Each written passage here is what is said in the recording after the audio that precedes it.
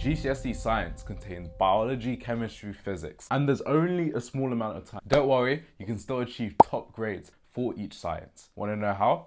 keep watching. Hope everyone's doing well, my name is Kieron. In this video, I'll give you a step-by-step -step solution to smashing your exams for biology, chemistry, and physics in just a short amount of time. And at the end, I'll give you some general tips covering all of those sciences. All right, let's get straight to it. Starting off with biology, I encourage you to attempt the first set of past papers available. I want you to sit those papers, just, just the first set of papers. It doesn't have to be in exam conditions, just sit them and answer it to the best of your ability. If you're in a situation where you've done zero practice, you've done no past papers, and you barely know anything about biology. What I mean by this is for paper one, you don't know any of the topics. You don't even know what the topics names are. A YouTube channel called Emma the Teachie has covered all of the content for paper one and paper two. Science Shorts and Primrose Kitten has also done this. However, during GCSE, I use Emma the Teachie because I just found her videos very clear and I thought that she explained topics very well. But that's all about preference. If you're in the situation I just stated where you've barely done anything, I want you to watch the videos that she goes through. I want you to watch this video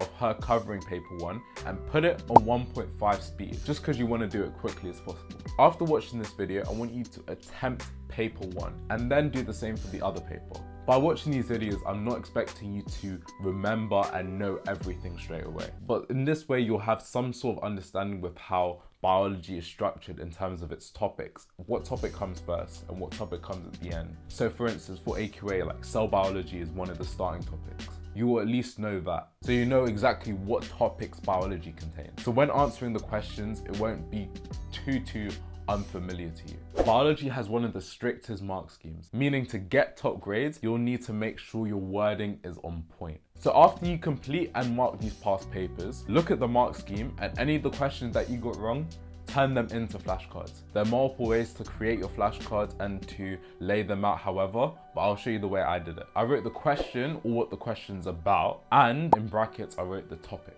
and this is at the front of the flashcard. At the back of the flashcard, I copied out the bullet points from the mark scheme to deal with that question. This way the flashcard will contain the context, the topic, and the answers that the mark scheme will want you to use. Make sure that you write them in bullet points as well, because a lot of people don't know this, but in your actual science exams, see the essay-based questions, you don't actually have to write an essay for them. You can literally just bullet point as much as you know to do with that question. So in this way, if you write down bullet points on the flashcard, you can literally just use those bullet points to answer future questions to do with that topic. And make sure the bullet points are condensed as well. You don't want to spend too long on these flashcards. It only takes a matter of minutes. Spending way over an hour on these flashcards, then you're wasting time. You're wasting time and you're probably including way more than you need to. Remember, it's only the questions you get wrong. All of these flashcards are made to help you memorize the mark scheme. I mentioned earlier that biology has one of the harshest mark schemes. You need to make sure you're using the right keywords. Knowing the keywords to use will get you marks. All of the notes that you want to remember are from the mark scheme. So by memorizing these flashcards, you're effectively memorizing the mark scheme.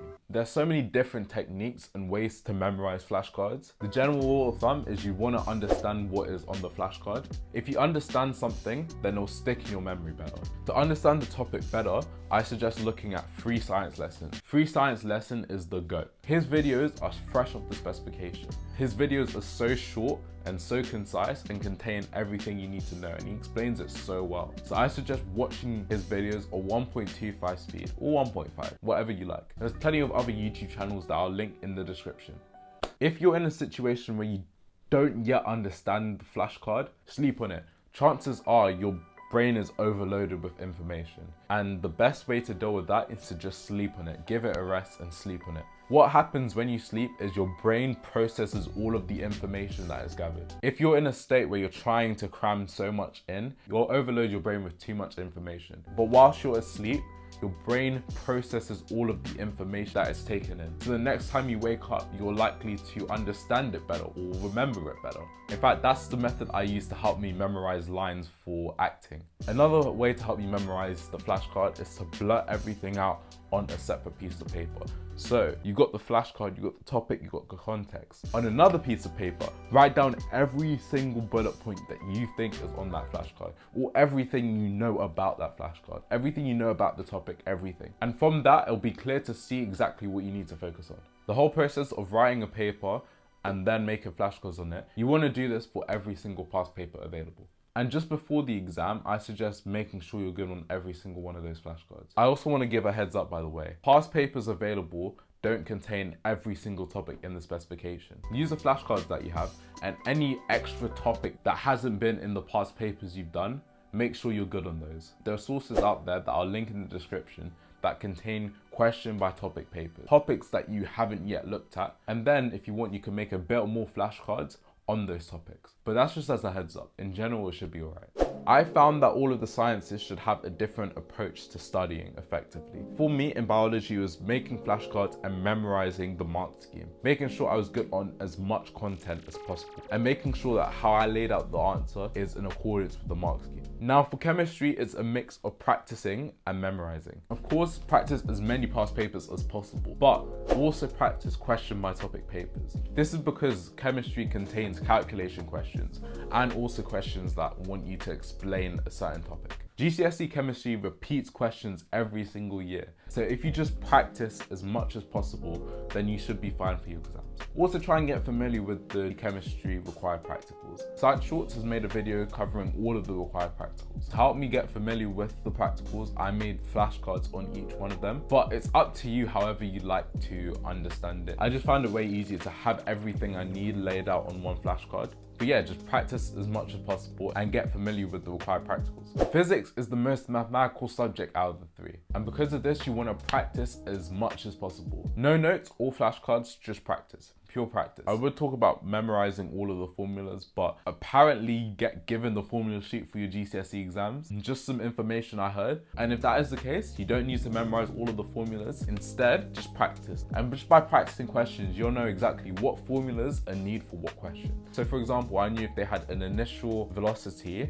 and the final velocity, then there's an acceleration involved. So I knew to use the formula v squared equals u squared plus 2as. I think I'm an electrical engineer. I'll use this example actually. I knew if there's charge, current, or time involved, I'd most probably use Q equals IT. If I knew there was a resistance value, I'd use V equals IR, or even P equals I squared R. By practicing and practicing and practicing, you'll know when to use the formulas. At the start of this section, I mentioned no notes or flashcards. The reason I said no flashcards is because PMT has made their own for you. Go on Physics and Maths Tutor and test yourself on these flashcards. For GCSE Physics, I tested myself on these flashcards just to make sure I was good on as much in physics as possible. Right, so just some general tips. In general, practice past papers and do these past papers in exam conditions. I'd say the only exception is for the first set of papers you sit because there are so many papers available for you to practice. But I'd say the first ones you sit, don't sit it in exam conditions. Have notes with you if you need, don't feel pressured with time. This is because most likely if you haven't done any past papers with science,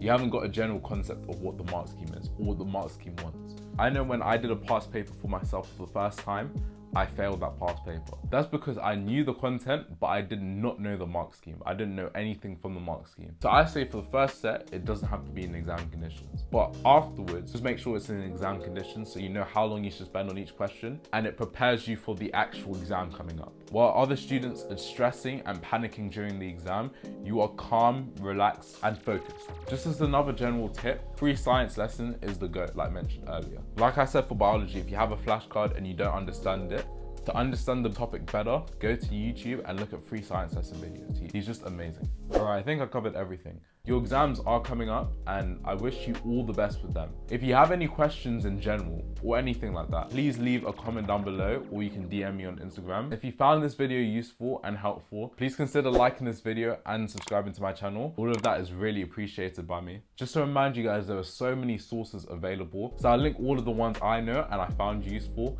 in the description of the video. I wish you guys nothing but blessings for these exams. You guys are gonna smash it. Stay safe, God bless, and peace.